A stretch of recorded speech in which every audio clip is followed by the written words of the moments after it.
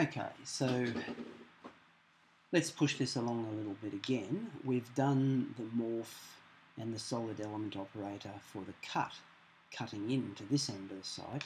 We're going to repeat that process again now, do another morph, and make a morph come out this side that will end up being the fill, which we'll add onto that, that um, instead of subtracting. So, take you through that again. First of all, before you do, so that we can separate the different morphs, go into your layer uh, settings, so Control L, or that button down the bottom there.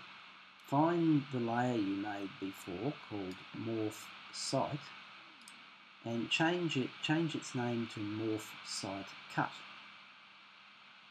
And when you've got Morph Site Cut, just um, Control C that text and create a new layer and call that new layer name morph site fill. I'll show you what I mean. I'm just going to swipe that text, Control C, new layer, Control V, change the word cut to fill.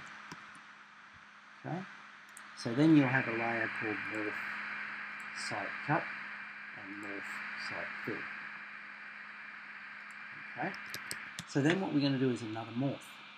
Go into the morph tool, change the layer now to morph site fill, and all your other settings should still be the same. We're going to do a rectangular geometry method. Um, we're doing it, uh, we're in AHD, that's right, we're in AHD, so we're going to do it 9300 above AHD. And we're going to create this morph exactly the same shape that we did before. Something didn't happen there for me. Let's go out of that. This intersection here. Right to this intersection here. So we've created that morph shape again. Go into 3D and we'll have a look at it. Okay, now you might not be able to see it at the moment, so just set your layers up so you can see it. So Control A, to, Control L to bring up your layer dialog box. And what we'll want here is the layer that you just used, Morph Site Fill, you want that turned on and leave Morph Site Cut turned off. And click OK. And at the same time, I think click on this mesh here, right click, layer, hide layer. So you're then left on the screen with just this morph showing, this flat rectangular plane. So you're going to click on that morph, click on it again to get the pet tool, making sure you're in push pull. This time you're going to push pull that downwards and type 1000 and press enter. Same as we did before, only this time it's all going to go from the bottom edge. So this bottom edge this time, because this is fill, we want to stretch. If you've got the vertical plane happening for yourself, go and find this plane tool and change to horizontal because we want to pull this plane horizontally out 20 meters. In effect, what we're doing is, uh, I don't think I did that right, I think I better control Z and do that again. Click on this edge, we want it to go horizontally, so there's a plane tool here. I can change to horizontal, coming out in this direction, 20,000. That looks a bit more like what I was expecting. So in effect, we're creating sloping surfaces that have a, have a slope of 1 in 20. So I'm going to do that again to this direction. I've got the vertical plane happening, so I need to click on that plane tool and change it to horizontal. And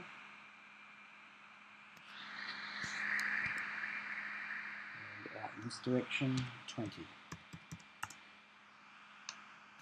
Okay, so there's my fill shape.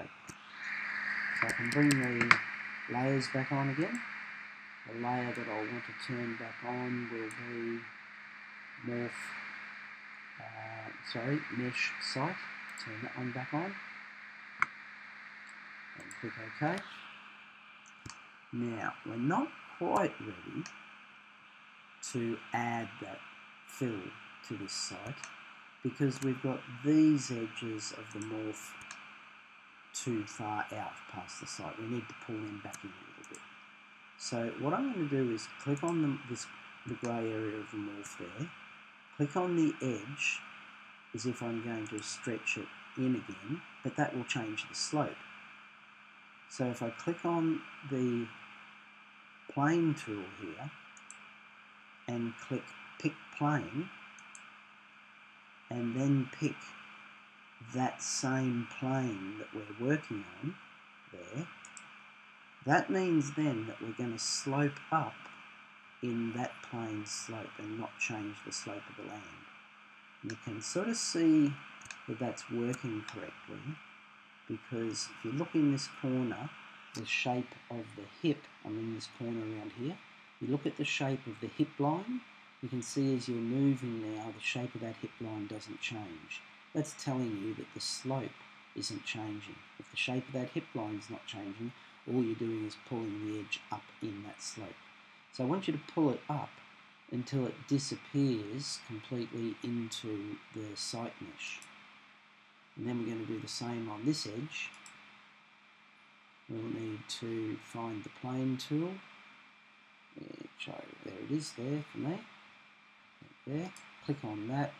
Pick a plane. Pick that plane that we're working on and pull that edge up the ridge, up the hip until it disappears into the site. Then we're in a position to do solid element operators. So the same as we did last time, we're clicking on the mesh, we go get target element, then we click on the morph, get operator element, change the operation to addition, and then execute. Okay, so to visualize whether that's worked correctly now, go down to your layers, and we want to turn morph site cut, morph site fill off as well as um, mesh and mesh site on. In fact, if we go back to show and unlock all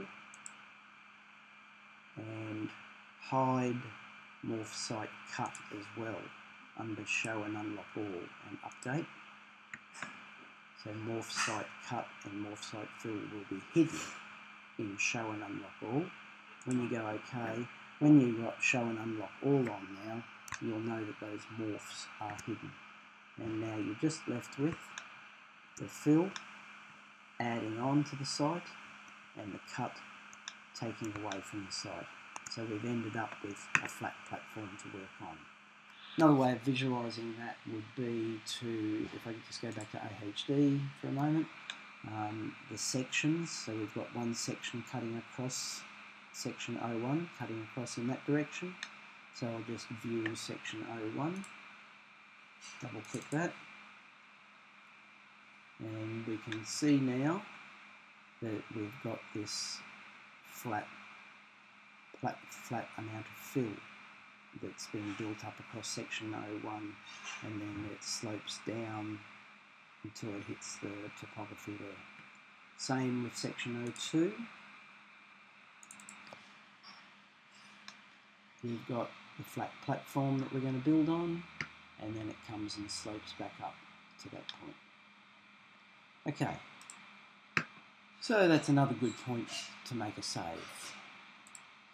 Save your project, we'll stop the recording and come back a little while later.